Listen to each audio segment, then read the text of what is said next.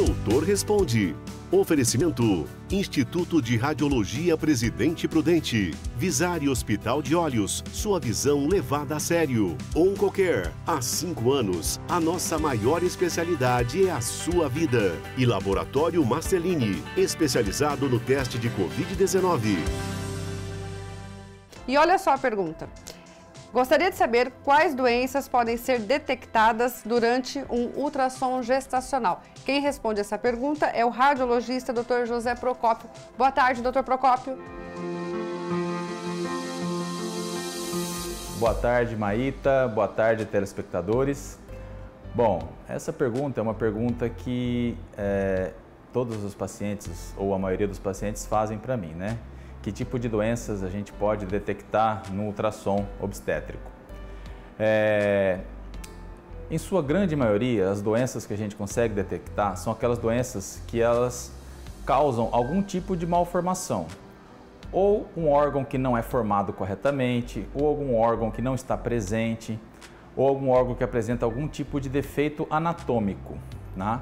É, a parte funcional, se algum órgão está funcionando direito ou não, isso a gente é, não consegue dizer com uma, com uma certa é, precisão, né? sendo que em alguns órgãos a gente consegue mais ou menos prever que estão funcionando bem. Os rins, de, os rins é um exemplo disso. Por exemplo, um feto que não está apresentando urina, né?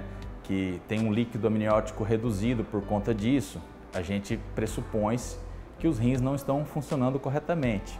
Né? Ou um, um feto que apresenta uma dilatação é, do estômago, ou às vezes a ausência da imagem do estômago lá no exame, pode ser também é, por decorrência de um defeito na deglutição do líquido, ou até mesmo algum defeito de formação do tubo digestivo, né, que pode também causar esse tipo de alteração.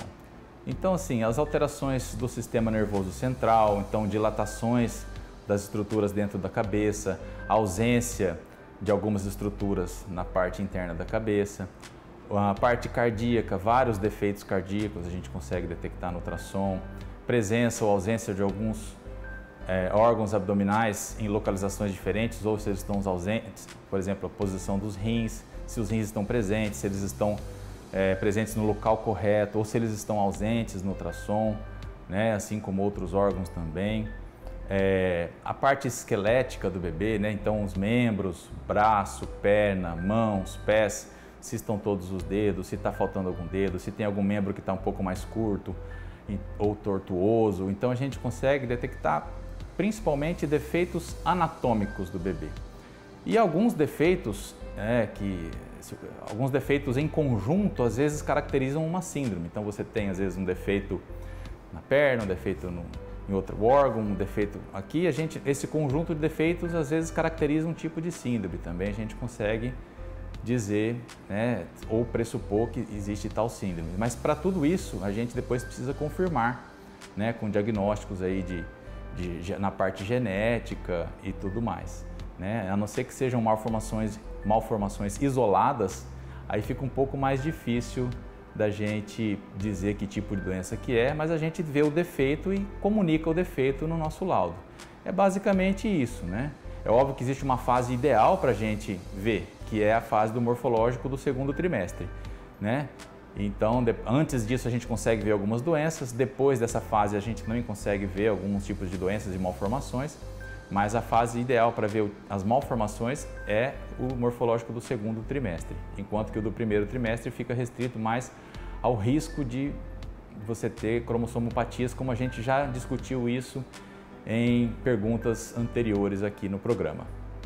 É isso, gente. Muito obrigado, Maíta. Um abraço a todos vocês.